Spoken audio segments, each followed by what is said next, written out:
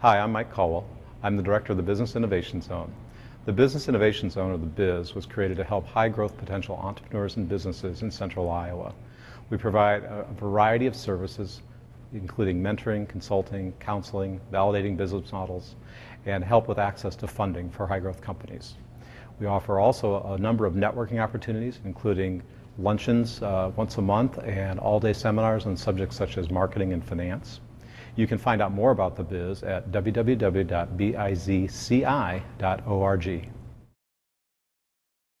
Thank you. Um, I'm Emily Harris. I am an intellectual property attorney at the Davis Brown Law Firm. Um, I'm a registered patent attorney. Uh, I practice in also in trademarks, copyrights, trade secrets, anything that touches on intellectual property, license agreements. Um, I'm a little bit of background about me. I'm from uh, the Des Moines area, graduated from Hoover High School.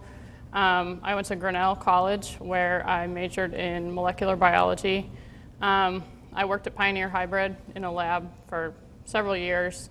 Uh, moved to Chicago, worked at Northwestern University Medical School um, in research. Uh, had enough with dealing with little research mice decided I'd go try something different, went back to law school um, at the University of Iowa. Um, after law school, I joined the Davis firm and have been there ever since. Um, I'm a registered patent attorney, which means I've taken both the uh, state bar and a separate bar that patent uh, people have to take in order to be uh, able to practice in front of the patent office. Um, so I'm going to talk to you a little bit today about the various types of intellectual property um, and how to protect them. I'm going to focus on trademarks, but I've got a little bit of information about patents and copyrights uh, too. So why should a uh, startup company care about intellectual property? Two main reasons. The defensive reason, um, you want to make sure that uh, someone else's registered intellectual property, patents, trademarks, copyrights aren't going to prevent you from carrying out your business. You don't want to have to change what you're doing because someone else um, has protection that will prevent you from doing it. You don't want to get sued. Then there's offensive reasons, provides you a competitive advantage. You can prevent others from using your intellectual property. It provides you a marketing advantage. Uh, you can use that Circle R designation if you have a registered trademark, can mark things with uh, your patent number. It increases the value of your business um, and it might actually provide you with a stream of revenue. There are four main types of intellectual property protection. Trademarks, which are words or symbols or other devices that identify the source of goods or services. Uh, there's patents, and patents give you the right to prevent others from making, using, or selling your inventions. Copyrights, they protect original works of authorship, and that includes software. And then trade secrets, which are confidential, secret information like customer lists, recipes, formulas that provide a competitive advantage to your company. Here's an example of intellectual property protection for uh, one product, and there's, it's covered by all four different types of intellectual property. The Hershey's Kisses, the trademark protects the shape of the candy. There's patent protection for a method of reducing fat levels in the cocoa that they put in the candy. They have copyright protection for commercials, advertisement, and then there's trade secret protection for the recipe formula for making the candy. So we're going to start with trademarks. What is a trademark? A trademark identifies goods and services coming from a single source. They establish goodwill with the consumer. They're a way that consumers can distinguish each merchant's goods or services. In short, trademarks equal reputation. I'm going to go through trademark law kind of in terms of misconceptions that I hear um, from clients all the time. And so, got 10 of them. The misconception number 10 a trademark has to be a name or a logo. Here's easily recognized trademark. There's a word mark, Coca Cola. You see it and you know exactly where it came from. It distinguishes it from other uh, soft drinks like Pepsi. There's all kinds of word marks you encounter everywhere. Uh, McDonald's, Merrill Lynch, Enron, they all bring to mind what the products or services are, whether that's good or bad. Here's a whole screen of, of designs. Um, they don't have any word marks on them, and I bet most everyone can pick out most of these just from the the logos that are affiliated with them. You've got Adidas and Kentucky Fried Chicken and Taco Bell, Kmart, Nike, Domino's, NBC. Just a design alone can convey to the consumer who you are, that it's your product. Color can actually be a trademark completely by itself. Uh, the green on the far side of the screen is that's John Deere green. The middle is Tiffany blue. This side is Owen Corning pink. And so you can register color alone uh, so that people see your color and know that it's your product. Sound can also be a trademark. Examples of sound marks include the NBC, NBC chimes. The roar of the Harley Davidson motorcycle engine is actually trademarked. The MGM Lions roar is protected, and Intel's Pentium processor, uh, the sounds that, that they advertise that with, is protected as a trademark. There's another type of trademark, this is called trade dress, where you can identify the source of the product just by looking at the shape, packaging, uh, the look of it. So, can you identify the source of this product? That's a Coke bottle. How did you know the source? It's trade dress, which is a type of trademark. Examples of trade dress, you can anything you can think of that is the overall look of, of something, packaging, a building. So we've got the Coke bottle, Mrs. Butterworth, the shape of the bottle. The iPod is actually the trade dress, so the shape of the iPod is protected. And then uh, the appearance of um, IHOP, the building, all of those are used as trademarks. Trademark misconception number nine the more the mark conveys about the nature of the product or services, the better it is. Trademarks vary in strength according to a spectrum, and the strongest marks are the easiest ones to protect and defend. The weakest marks are very difficult to protect and possibly impossible to protect. Here's the spectrum. So we've got generic, descriptive, suggested, suggestive, and arbitrary marks. Examples of generic marks are baking soda, telephone, restaurant, and those wouldn't be entitled to trademark protection at all. You can't prevent others from using generic terms. Weak marks, they're descriptive. You see the mark and you know what it is that the product or the services that are affiliated with it. So, Iowa Lottery, uh, Vision Center, uh, Comfort Inn, those are all examples of descriptive marks. Suggestive marks, uh, Word Perfect, Coppertone, Jaguar, you look at them and you don't know exactly what the product is, but the uh, mark itself suggests it or certain qualities of the product. Um, and then the strongest marks are your arbitrary marks like Apple computers, um, Arrow for shirts, and Kodak. The best trademark is the one that bears no relationship to the to the goods or services that go with it. From a, this is from a trademark attorney point of view. They're much easier to protect. They're easier to defend when you're selecting a mark, oftentimes it's best to, to go towards the suggestive and the uh, arbitrary, fanciful side of things. Uh, misconception number eight a trademark can be reserved indefinitely. So, you know, I'll get a call from a client who has 10 trademarks that they think they might want to use at some point in time, and they want me to register them so that they can keep them for their use far into the future. And they're not really sure that they're actually ever going to use those trademark protection does not actually exist until you use the mark. So you, you don't have a trademark until you've used the mark in commerce with the goods or services. You can file a limited time reservation of a mark with uh, the federal government, a federal intent to use application. If you don't use it within the limited amount of time uh, and file uh, documents showing the trademark office that you are appropriately using it in commerce, then the application will be denied. So you, you don't have any rights in that mark. Misconception number seven. I get this one a lot. I registered my name with the Secretary of State, so therefore I own the trademark and I can prevent others from using it, right? No.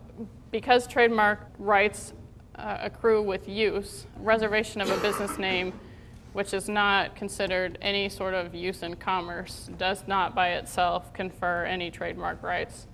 Um, use in commerce is the only way that you can acquire those type of rights. Packaging, putting it on a package, advertising, promotional activities, having it on the, the page of your website, not just in the domain. Getting it out there so that consumers come to recognize it as a trademark. I also will have people say, you know, I looked at the Secretary of State, their corporate filing records, and I didn't see my uh, mark, so therefore I can use it. It's mine, it's available. The same way that um, I talked about before, it's, it doesn't tell you about trademark use at all. I mean, uh, what you file as the Secretary of State is a, a trade name, your business name, which you may not be actually using with your product or your services in commerce in any way. So it doesn't tell you anything about whether someone else could prevent you from using the mark. This is a kind of a similar misconception. Number six, I reserved a domain name, so I own the trademark. So, you know, a company starting a new business uh, picks a trademark and then reserves the domain name. They immediately put page under construction on the website with no information about what their services or goods are they're not using the mark in any other way. So they aren't selling it in stores. They're not promoting it. They don't have, you know, business cards stationary with the mark on it uh, that they're getting out there. Another individual subsequently starts selling a similar product using the same name, and he's actually selling it. So he's got it on packaging. He's out there using it in commerce. The domain name owner calls me and says, "I want you to stop this subsequent user from." Using my trademark. And you know, the question is, can he stop that? And the answer is probably not.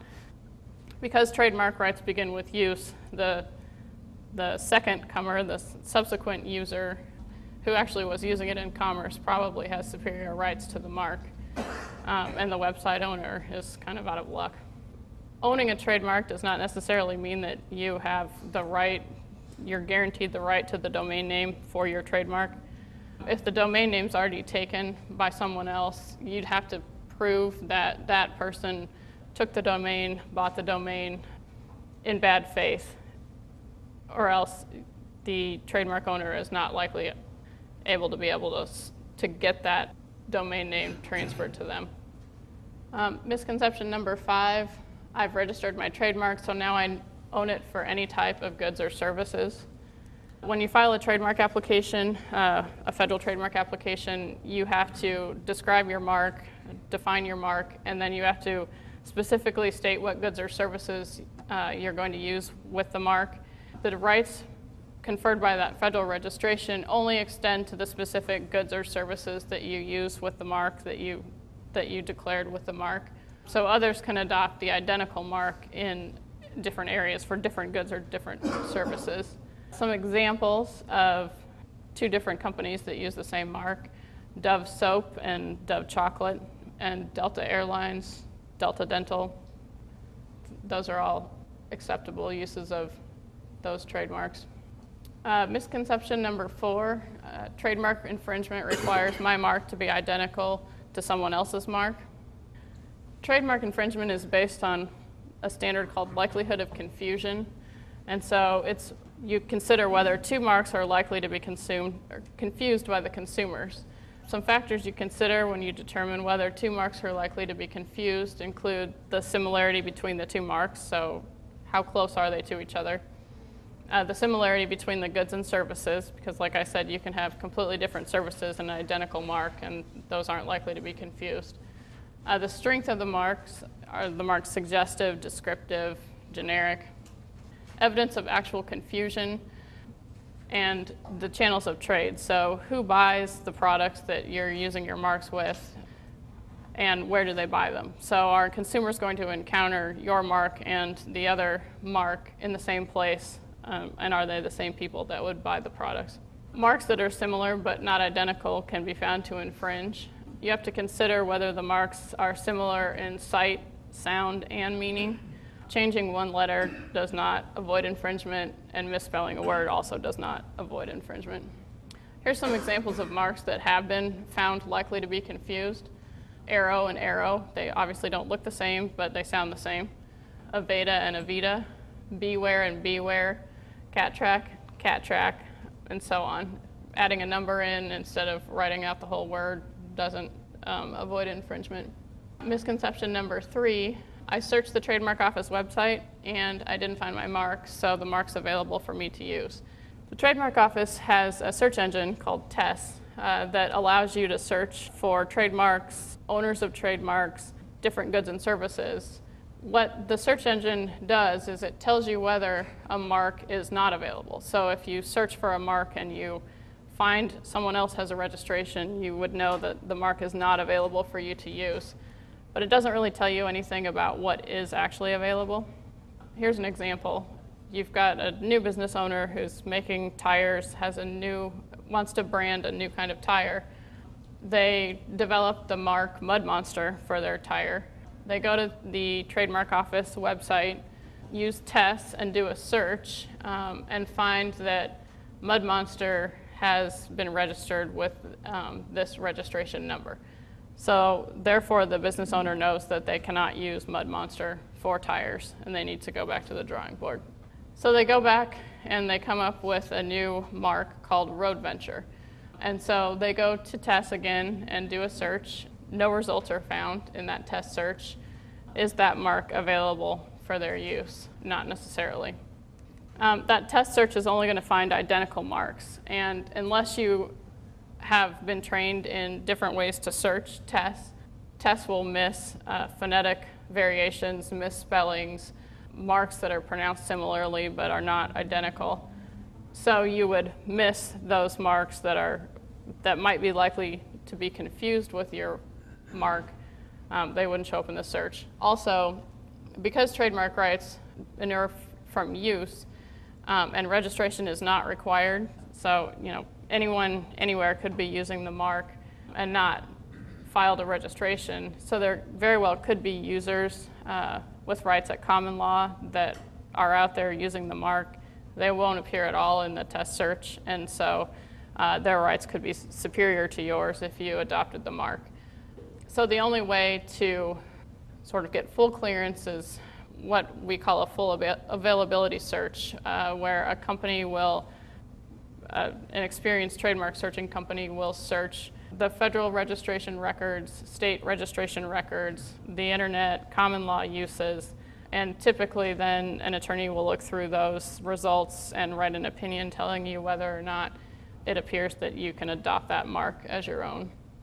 So, so uh, you could have somebody down the street who adopts, we'll use the Road Venture trademark.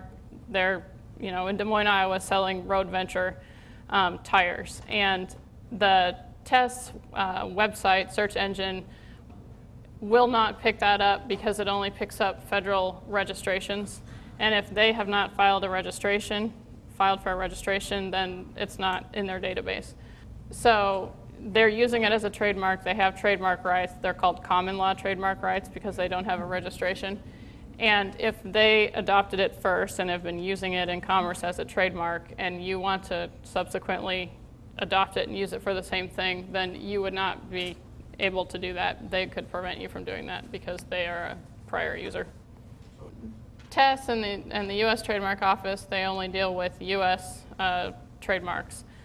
If you need protection abroad, anywhere else in the world, you have to file individually in individual countries um, to get uh, rights in those countries. Trademark law is certainly not um, black or white, black and white. So it comes down to, uh, you know, a lot of it's very subjective. Do they look the same? Do they sound the same? Um, uh, you fall into the same thing when you've got logos instead of words. You know, do the pictures look the same? Um, what what message does it convey to the consumer? Um, so you know, it's certainly it's something that is not easy to dispute, and people fight over it for a long time. The records of the trademark office that TESS search also will tell you whether or not the registration is uh, live or dead. Uh, live registrations mean that it's in effect, it's in force. Uh, there's someone that owns that mark. One marks that have gone abandoned, you know, fees weren't paid, or someone else canceled the mark, um, they're listed as dead. And so, uh, you know, as another example, like the Road Venture mark, say you found Road Venture, but the registration was listed as dead question whether the mark is available for you to use. Again, not necessarily because the Road Venture company could be using it still and had the mark canceled or didn't pay fees or something and it went abandoned and is listed as dead. So um, without doing a complete search of uh, common law uses, state registrations, state use, then um, you don't really know what else is out there. Misconception number two trademark clearance is not necessary. Work with a lot of startup companies who are excited to get going. They've got what they think is a great brand. Uh, they start using it, go out there, and they're advertising, marketing. Um, and they didn't consider the consequences of what might happen without checking to make sure that that trademark was available for them to use. Here's a local example. Um, it was in the newspapers. Uh, T-shirt store, store Smash had to change its name to Raygun after they got a cease and desist letter from a California company who had rights to the trademark.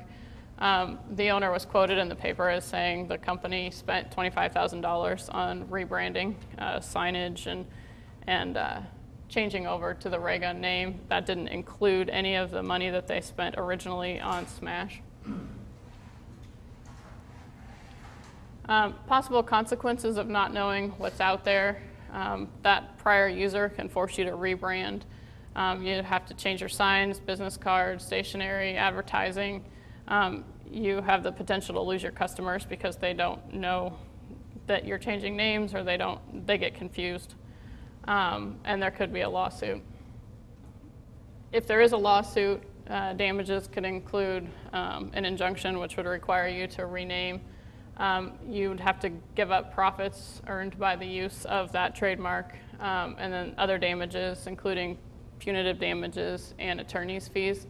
An example of this is uh, Payless versus Adidas. Payless shoe store came out with shoes that had three stripes on them that were found to infringe the Adidas registered trademark for the three stripe shoes. The uh, damage award that included the profits, uh, punitive damages, and attorney's fees was $304 million. Misconception number one there's no need to register my mark. There's many benefits to having a federal trademark registration. Um, it protects your ability to expand. So that federal trademark would uh, allow a company in Iowa um, who you know does business solely in Iowa and Minnesota. It protects their ability to expand anywhere in the country. Your registration may prevent others who actually are doing their homework from adopting confusingly similar marks. Uh, so it might head off a lawsuit um, or a conflict with another company.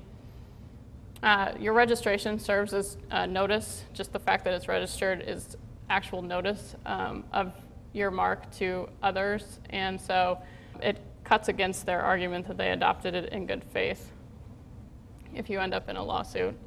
Um, you can use that Circle R designation only when you register your trademark, which confers a marketing benefit. Uh, you have access to federal court which gives you the ability to collect treble damages and attorney fees if you end up in a lawsuit. That U.S. registration can serve as the basis for foreign trademark registrations, so you can claim your use in the U.S. as priority for use abroad. And then federal trademark registrations can significantly increase the value of your company. Uh, the registration process is relatively simple for a federal trademark application. Uh, it's typically all done electronically. Um, the trademark office has a website that's fairly easy to use. An application is pre- prepared, submitted to the trademark office. Uh, once it gets there, it's assigned to uh, an examining attorney. Uh, that uh, attorney will conduct research, uh, searching other marks. Of the marks that are alive and are registered with the Federal Trademark Office. So they don't search any common law uses, state uses, anything. They just search federal records um, to decide if your trademark is confusingly similar to any existing registered trademarks. They also consider whether there are other issues, like is your mark generic or descriptive, and if it is, they'll reject your application based on that. If no other marks are found and there are no other issues, then it's published in the official gazette once it's published, there's 30 days for any member of the public to complain that they think that your proposed trademark is too close to theirs. If no opposition is filed, then if the application was filed for a mark already used in commerce, it proceeds to registration. You get your registration certificate. An intent to use application, which is the kind of application where you have picked a mark, haven't started using it yet, but intend to use it um, eventually, will require what's called a statement of use, which is um, typically a declaration and photographs showing that you have started using your mark in commerce.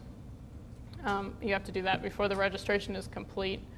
Um, once it's registered, you have to maintain your mark by filing affidavits and renewals. And as long as you're using it and paying the uh, renewal fees, then your trademark can continue indefinitely. It's generally recommended that an attorney file and prosecute um, trademark applications, do searches, and prepare opinions about trademark availability. Like Mike was saying, it, it um, adds credibility to your company and it makes it somewhat easier if you're trying to sell it or value your, it, it increases the value of your company. I just have a very brief overview of patents. Um, patents aren't necessarily applicable to every uh, new business. Quick patent primer, what can be patented? Uh, the U.S. Supreme Court has said anything contemplated by the mind of man can be patented. Um, there are three main conditions for patentability, and this is sort of patent lawyer speak. They have to be new, useful, and what's called non obvious.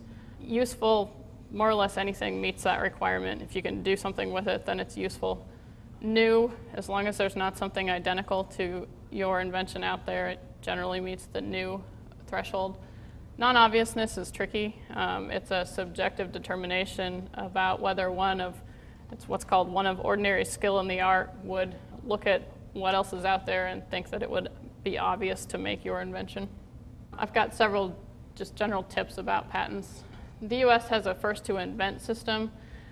So that means that you it's not a race to the patent office. It, it doesn't matter if person A invents it one day and person B invents it two years later, but person B beats them to the patent office. Person B is not going to have rights to that patent. It's going to be person A. Because of our first to invent system, we've got this rule that says that you cannot disclose, sell, publish anything about your invention uh, more than one year before you file the patent application. Because of that, you should always, always, always use a non-disclosure agreement if you're talking about your invention before you filed a patent application.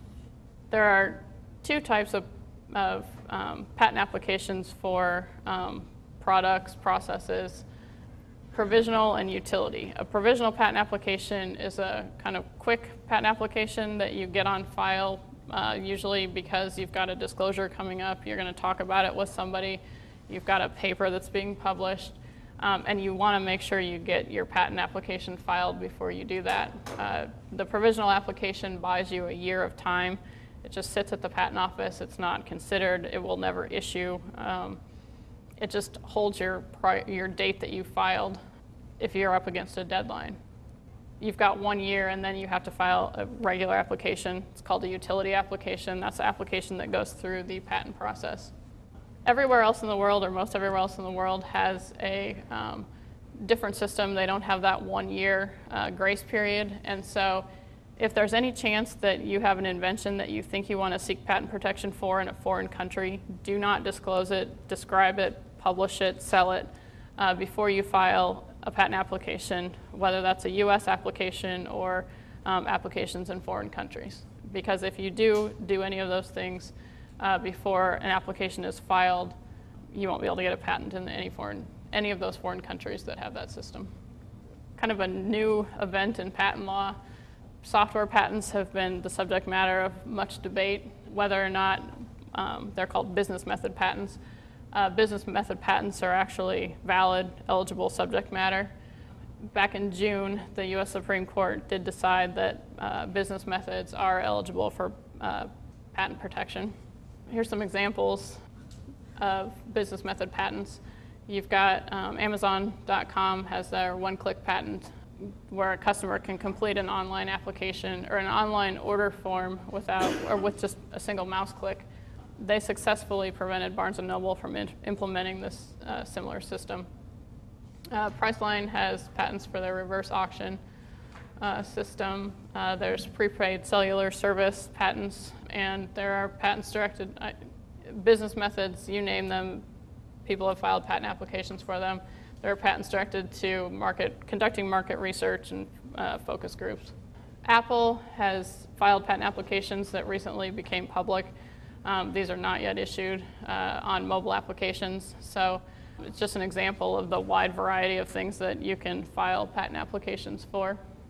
Quick overview of the patent process. Patent application is prepared. Patent application will include what's called the specification, which is a description of your invention, drawings, and then claims, and they're filed. That's filed with the U.S. Patent Office. Um, it's assigned to a patent examiner who does a search for prior art. The examiner then issues what's called an office action, which describes whatever problems that examiner has identified um, with your application and the prior art. So usually there's um, uh, rejections based on uh, something's not, they don't think that your invention is new or non obvious. Uh, the applicant will then respond to the office action to try and persuade the examiner to issue the patent. Um, there's always a possibility of more office actions. This exchange occurs um, repeatedly, and eventually, hopefully, the outcome is that the examiner and the applicant agree on allowable subject matter. Um, the examiner will allow the patent and it will issue. Uh, the patent is going to be valid for 20 years from that first filing date. Um, you cannot file, uh, refile a patent that has expired, and you can't get extensions to your 20 years. Um, you also must pay maintenance fees over the course of that 20-year life of the patent in order to keep it in force. Copyrights protect original works of authorship fixed in a uh, tangible media, which means uh, literary works, which include software, musical works, dramatic works, sculpture, general artworks, sound recordings, architectural works. Copyrights for software, they protect the source code and they can protect the appearance of your, your program. Um, they don't protect function. That's where you have to switch over to get patent protection. It's not required to register a copyright. You own a copyright as soon as you create a work. You can register it with the Federal Copyright Office, which will convey certain benefits. Registration is simple. Uh, you fill out a form and provide a deposit, which is a copy of your work. Copyright infringement, here's just kind of a general description of penalties for copyright infringement. Actual damages, uh, attorney's fees, injunction. The court can impound the illegal works and the infringer can actually go to jail. And that's it.